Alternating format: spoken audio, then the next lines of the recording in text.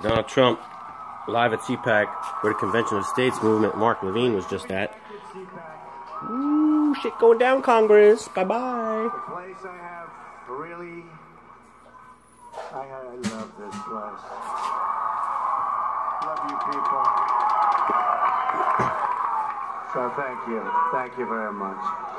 First of all, I want to thank Matt Schlapp and his very, very incredible wife and boss, Mercedes, who have been fantastic friends and supporters and so great when I watch them on television defending me. Nobody has a chance. So I want to thank Matt and Mercedes.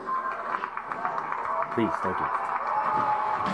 And when Matt called and asked, I said, absolutely, I'll be there with you. I mean, the real reason I said it, I didn't want him to go against me because that, that one you can't beat. So I said absolutely, and it really is an honor to be here.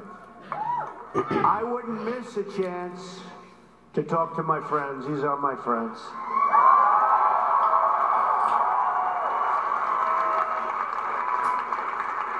And we'll see you again next year and the year after that. And I'll be doing this.